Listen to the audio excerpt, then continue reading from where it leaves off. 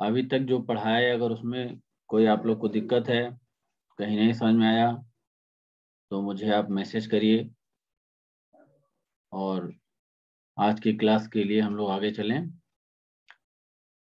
There is a test useful for comparing integration whether it is converging or diverging. See the test. To test the convergence of integration from a to infinity dx by x to the power n where a is greater than 0 see here our limit of integration is upper limit is infinity. So this is a case of improper integral of the second kind. There is a theorem. It says the improper integral from a to infinity dx by x to the power n a greater than 0 converges if n is greater than 1 and diverges if n is less than or equal to 1. Let us see its proof. Since integration from a to t dx by x to the power n is equal to integration from a to t x to the power minus n dx and integration of x to the power minus n is x to the power minus n plus 1 by minus n plus 1 from a to t. It is obvious that n is not equal to 1. This is equal to 1 by 1 minus n t to the power 1 minus n minus a to the power 1 minus n. Therefore, integration from a to infinity dx by x to the power n, it will be take limit t tending to infinity integration from a to t dx by x to the power n. So this is equal to limit t tends to infinity 1 by 1 minus n t to the power 1 minus n minus a to the power 1 minus n. This 1 by 1 minus n in, is constant, so we will take it out. This, so this is equal to 1 by 1 minus n limit t tends to infinity t to the power 1 minus n minus a to the power 1 minus n. Now, there are three cases. First case, if n is greater than 1. If n is greater than 1, then 1 minus n will be less than 0 and therefore limit t to the power 1 minus n where t is tending to infinity, it will be 0. Why? Because 1 minus n is less than 0, so t to the power 1 minus n will be uh, this one uh, this this will be 1 upon t to the power n minus 1 hence integration from a to infinity dx by x to the power n will be a to the power 1 minus n by n minus n substitute this value here in this case so the integral converges when n is greater than 1 because this is a finite quantity next if n is less than 1 then 1 minus n will be greater than 0 and in this case, limit of this t to the power minus n t tending to infinity, it will be infinity. Why? Because 1 minus n is greater than 0. And so its limit will be infinity. So the whole thing will become infinity. Therefore, integration from a to infinity dx by to the power n will be infinity. It means the integral diverges when n is less than 1. So when n is greater than 1, the integral converges. And when n is less than 1, the integral diverges. There is one case left. That is the case when n is equal to 1. Then integration from a to infinity dx by x to the power n, it can be written as limit t tends to infinity, integration from a to t dx by x. Why? Because this n is equal to 1. So this is equal to limit t tends to infinity log x from a to t, integration of 1 upon x is log x, therefore this one. So this is your limit t tends to infinity log t minus log a. And when t tends to infinity, the whole thing will equal to will be equal to infinity. It means the integral diverges when n is equal to 1. So this integral converges when n is greater than 1 and diverges when n is less than 1 and equal to 1, both cases. So this is proved. Next, we have another test, a very important one, the mu test. See the theorem. If fx is bounded and integrable in closed interval ax for all x greater than or equal to a, and if limit x tending to infinity, x to the power mu fx is equal to L, which is non-zero, then the integral from a to infinity fx ds converges or diverges according as mu is greater than 1 or mu is less than or equal to 1. See its proof take phi x equal to 1 by x to the power mu, then fx by phi x will be x to the power mu into fx. Take limit as x tending to infinity fx by phi x is equal to limit x tending to infinity x to the power mu into fx. This is equal to L non-zero. It is given in your problem.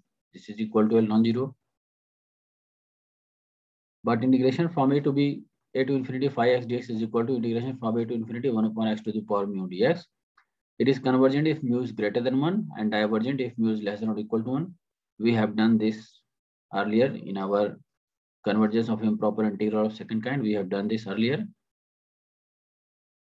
So by comparison test, integration from a to infinity fx dx is convergent if mu is greater than 1 and it is divergent if mu is less than or equal to 1. So this is also proved. There is a rule given for finding the value of mu. We will we can check it by an example. Means what you have to do. The highest power of x in the denominator. Choose the highest power of x in the in the denominator and highest power of x in the numerator, and take the difference. That will be your value of mu. See here one example. Test the convergence of the improper integral from 3 to infinity dx by root x, x minus 1, x minus 2. So here our fx is given as 1 upon under root x, x minus 1, x minus 2. And this is greater than or equal to 0 for all x greater than or equal to 3. You can check it because the values of x will vary from 3 to infinity. And if you substitute here 3, 4, 5 or more values of x, then it will be your greater than or equal to 0. Always it will be greater than 0. Now to test its convergence, take gx is equal to what? 1 upon x to the power mu. And what will be the value of mu? Mu should be the highest power of x in the denominator minus the highest power of x in the numerator in the fx. See here, the highest power of x in the denominator will be x into x into x means x cube, but there is the under root. So it will be x to the power 3 by 2. And the highest power of x in the numerator is 0. So the value of mu will be x to the power 3 by 2 minus 0 it means your gx will be 1 upon x to the power 3 by 2 minus 0. It means 1 upon x to the power 3 by 2. Now evaluate limit x tending to infinity fx by gx. There are so many students coming. So limit x tending to infinity fx by gx. It will be limit x tending to infinity. And your fx by gx will be See here, this is your fx and this is your gx. So fx by gx will be x to the power 3 by 2 divided by under root x, x minus 1, x minus 2. So this is equal to limit x tending to infinity, x to the power 3 by 2 and take this x common. So it will be out, it's this x out of this under root. So it will be x to the power 1 by 2 into under root x.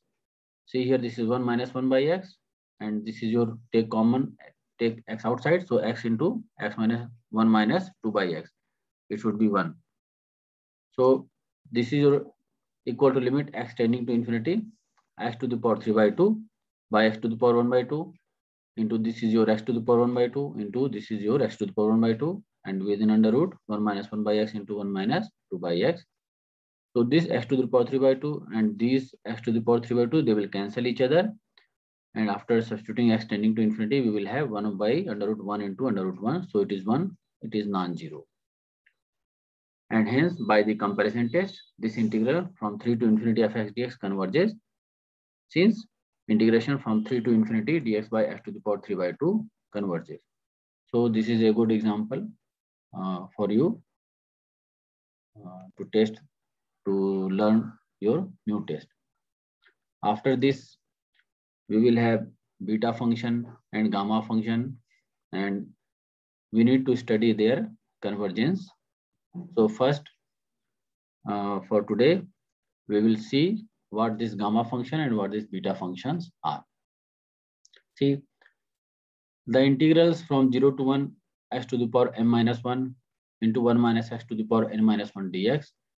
where m is greater than 0 and n is greater than 0.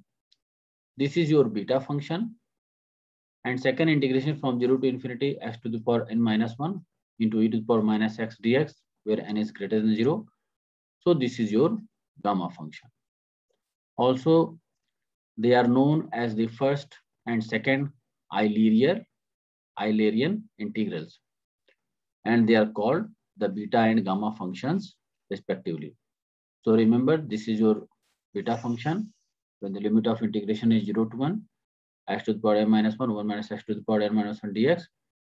And this is your gamma function integration from 0 to infinity x to the power n minus 1 e to the power minus x dx. So what we need to, we shall discuss the convergence of the gamma and the beta functions. And there are some properties and relationships, but it is not given in your syllabus. So we will restrict ourselves to the convergence of the gamma function and beta function. First, we will see convergence of the gamma function, uh, but not today. It will be done in your next class. Till then, if you have any query or any difficulty, you can ask me here. Also, the whole lecture will be available on YouTube. There is a comment section. You just give your comments there.